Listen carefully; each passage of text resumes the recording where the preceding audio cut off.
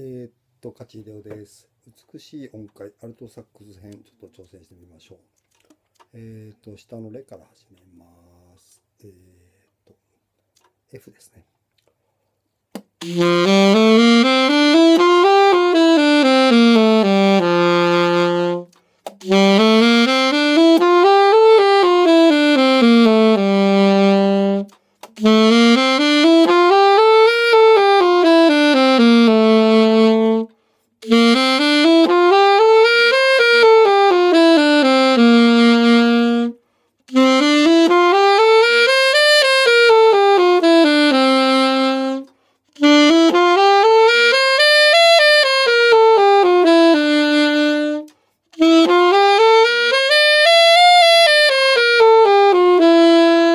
っと乱れましたね。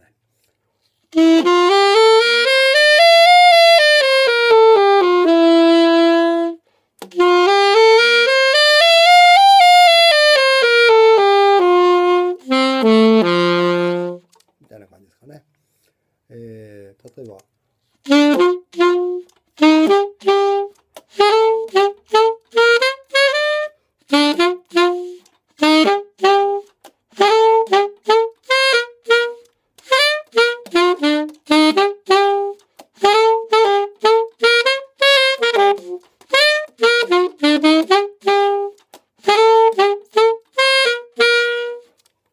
まあ B フラットですけど、えっ、と、まあこういうのも全部音階、音の並びですね。音の音階って言い方がいいかどうかわかんないけど、音の並びですね。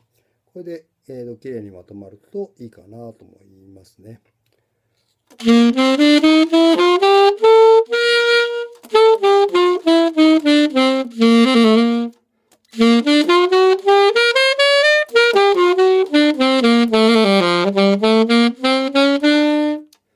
えっ、と、音階の間に半音をちょっと入れたりして、間の音を入れたりすると、また違った雰囲気ですね。ちょっとこう、なんでしょう、グッっていう感じの感じになります。そういうふうなことを考えるためにも、まずスケール音階、音を並べる。それから伸ばした音をきれいにするっていうことが大事かなっていうふうに思います。